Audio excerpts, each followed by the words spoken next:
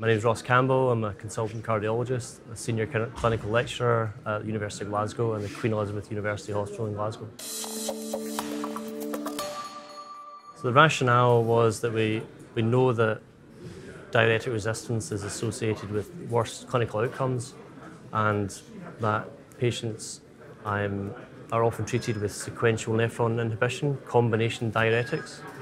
And it was intuitive that perhaps SGLT2 inhibitors, given their mode of action, um, their renal benefits, and their safety profile, and their known benefits in terms of reducing endpoints, uh, would be useful as a treatment strategy for this group of patients.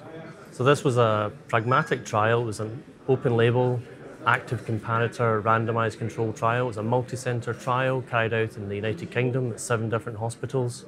And we compared a three-day course of dapagliflozin, 10 milligrams once daily, with usual care, including intravenous diuretics, to a similar diuretic strategy using metolazone, 5 to 10 milligrams for up to three days consecutively with usual care, including intravenous diuretics.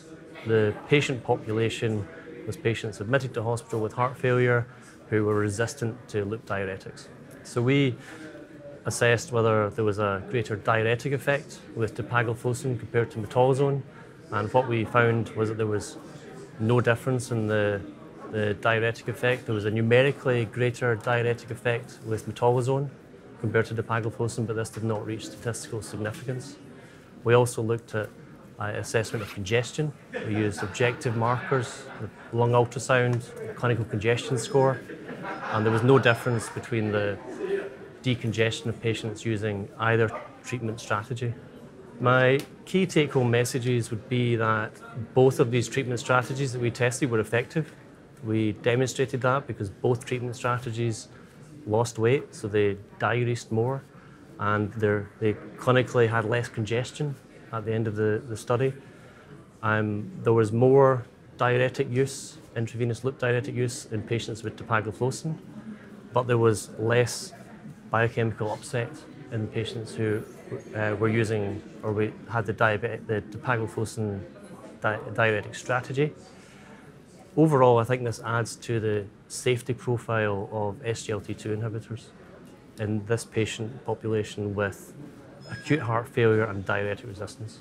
So I think Emperor Preserve and Deliver, these are obviously trials which are predominantly patients with chronic heart failure, so not patients who are hospitalized.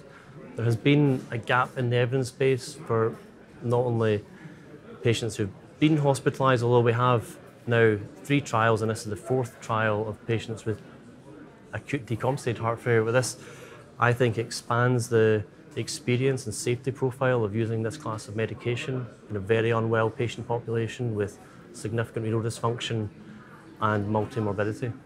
I think the next trials and research to think about are about how further combinations of diuretics may be used. Um, I think there's very clear evidence that SGLT2 inhibitors can and should be used at an early stage in heart failure, particularly when hospitalized.